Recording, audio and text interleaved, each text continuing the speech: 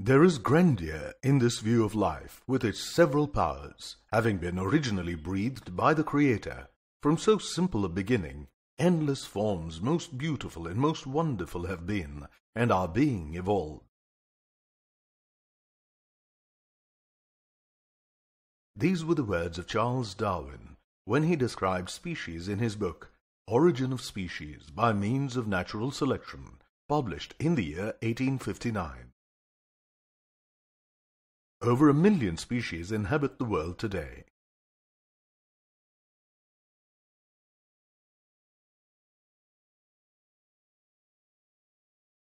And all these different living species have evolved from a common ancestor. Do you know what a species is? A species is defined as a group of organisms that can interbreed to produce viable and fertile offspring. This means that members of two different species cannot normally interbreed to produce offspring. And if they do, they give birth to offspring that are not fertile. One such example of mating between two different species is that between a male donkey and a female horse, to produce a mule. Mules are infertile hybrid offsprings and they do not belong to a separate species. Common names of plants and animals generally represent different species. For example, lion, tiger, camphor tree, and banyan tree are names of different species. Population of a species has genetic variation. Sexual reproduction brings new genetic combinations in the offspring. The total number of genes with all their variants in all organisms of the same species is called the gene pool. A gene pool gives the species its identity. Different species of living organisms have different gene pools. Look at these images. Do you think all of these belong to the same species? All of these are birds with common characteristics such as feathers, beaks, and wings. However, they do not interbreed and hence do not belong to the same species.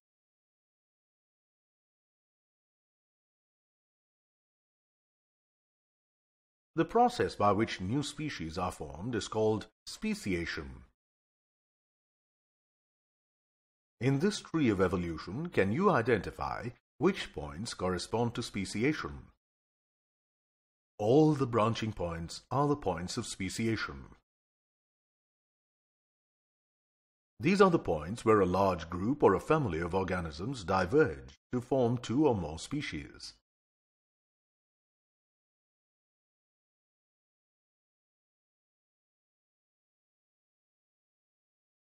These newly evolved species do not mate with members of other species to give birth to offspring.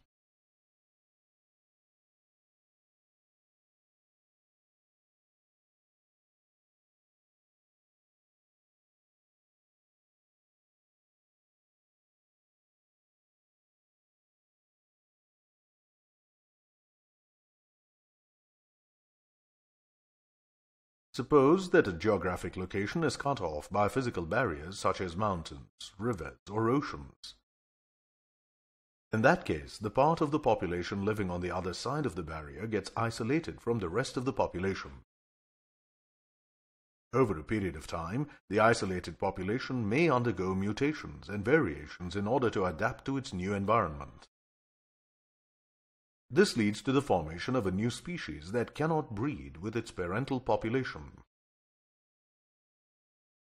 Also, it is possible that within a population, some members develop different reproductive mechanisms or mating habits.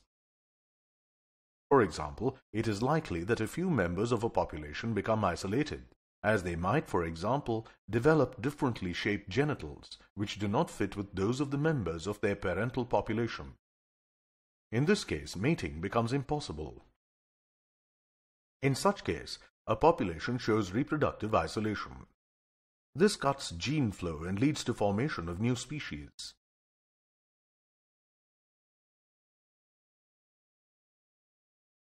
Did you know that organisms of different species exhibit different mating rituals in which they use mating songs and dances to attract their partners? Another cause of speciation is natural selection. Natural selection is the process by which organisms with some adaptive advantage survive and reproduce in numbers, while those without this advantage tend to be eliminated. Consider a population of red beetles living in a bush. Some genetic mutation changes the color of one beetle to green. Gradually, the green population starts increasing. Suppose there are some birds in this area that feed on beetles. The green beetles have an adaptive advantage. They are camouflaged against the leaves and so are not often eaten by the birds.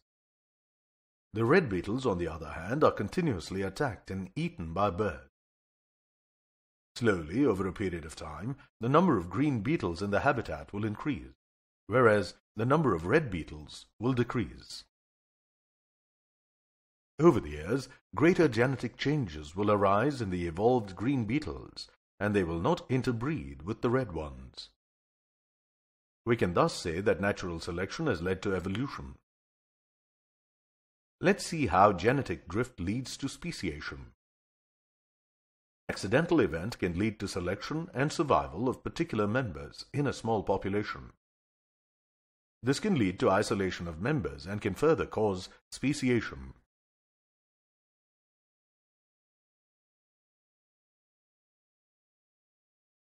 Speciation or evolution of new species can be classified into two types, allopatric speciation and sympatric speciation. Allopatric means belonging to a different homeland. In this type of speciation, geographic barriers or physical isolation beget genetic isolation. This leads to the formation of a new species.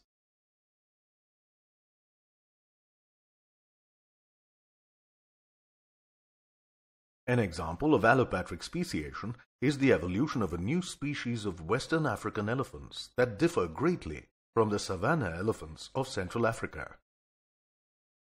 Sympatric speciation, on the other hand, occurs within a population, with both species thriving in the same geographic region. The evolution of a new species of apple maggot flies is a classic example of sympatric speciation. Earlier, all flies fed on a fruit named hawthorn. Later, in the 19th century, when apples were introduced in North America, some flies started feeding on apples. And gradually, there evolved a new species called the apple maggot fly.